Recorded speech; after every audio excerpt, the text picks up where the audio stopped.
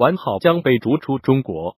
被约谈之后，万豪官网又将台湾城市划入日本。在经历被立案调查、道歉、解雇员工等整改后，万豪酒店又被爆料在其英文版网站将台湾并入日本。万豪中文网站尚在维护期间，有中国网民发现，在万豪英文版网站页面输入台字下拉菜单中出现台湾的台中市、台南市和台东县，竟然都被标明所属于日本。据查询，除了万豪英文版网站，万豪日文版网站。也将台湾台中市、台南市和台东县列入日本。据报道，在英文版与日文版网页上输入台中市、台南市或台东进行搜索，万豪网站给出的推荐酒店均位于东京。近日，万豪酒店集团在发给其中国会员的活动邮件中，把西藏列为了国家。就在万豪官方微博几度发声明致歉的同时，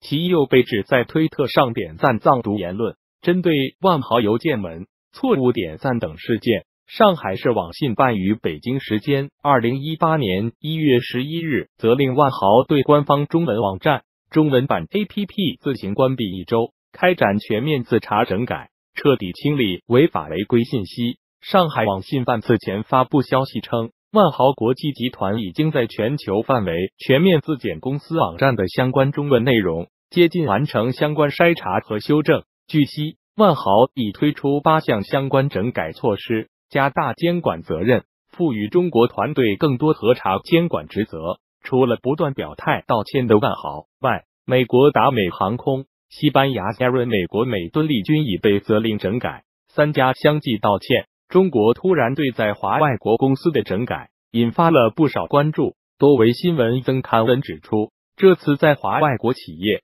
被整顿事出的确突然。毕竟他们在华经营多年，但中国今天突然发力，自然显示出了不同的意味。他们的行为是吃中国饭砸中国锅，中国立规矩是必要的。今天的美欧企业遭到整治，也是同样的思路。